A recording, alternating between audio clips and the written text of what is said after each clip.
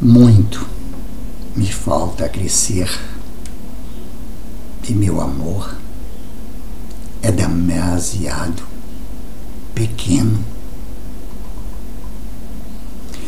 O defeito mais inocente, segundo nos parece, porém, mais desastroso, segundo os mestres espirituais, nossa constante necessidade de distração.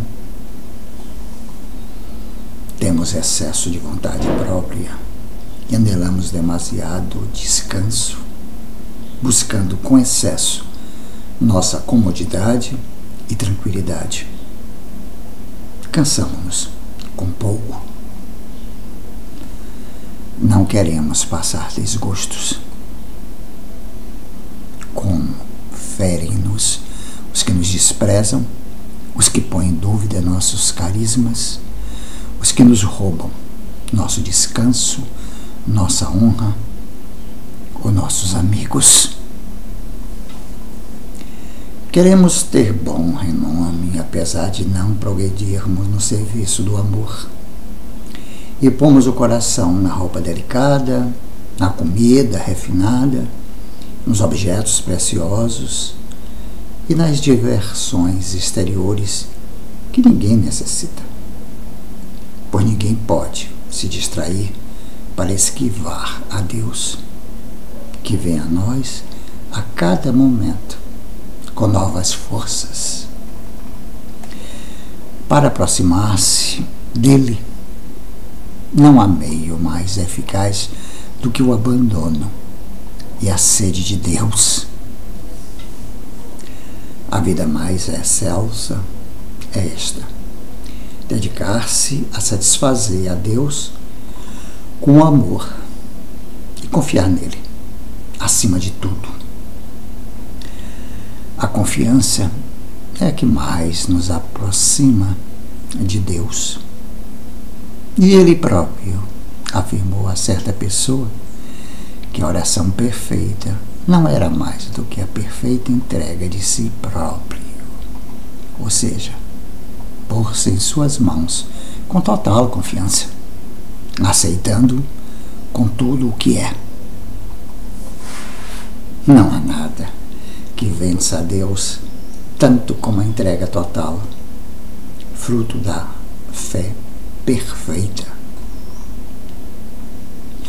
A confiança e a fé são as que mais se aproximam da perfeição. Apressa-te em cultivar as virtudes no amor autêntico.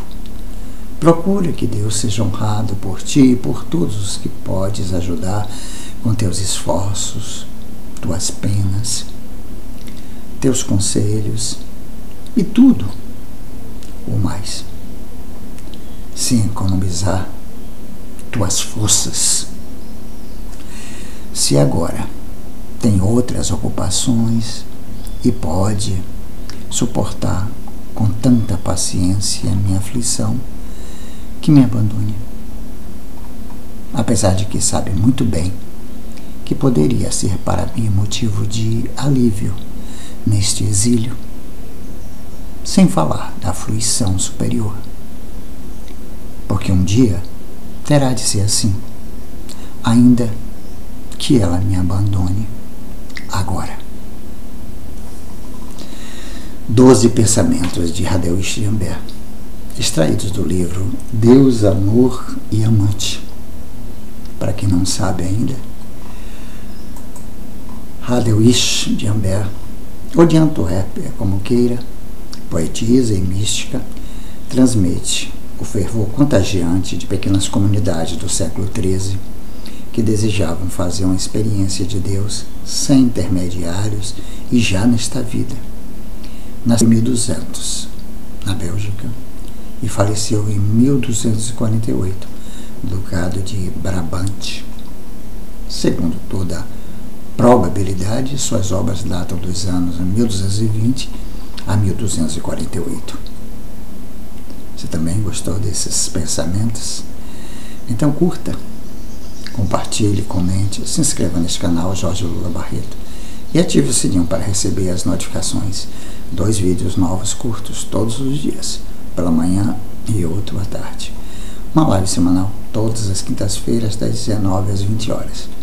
Espiritualidade, música, literatura, política, teatro, cinema, humor, amor, sexualidade, tudo junto e misturado. Como a própria vida. Obrigado pela força.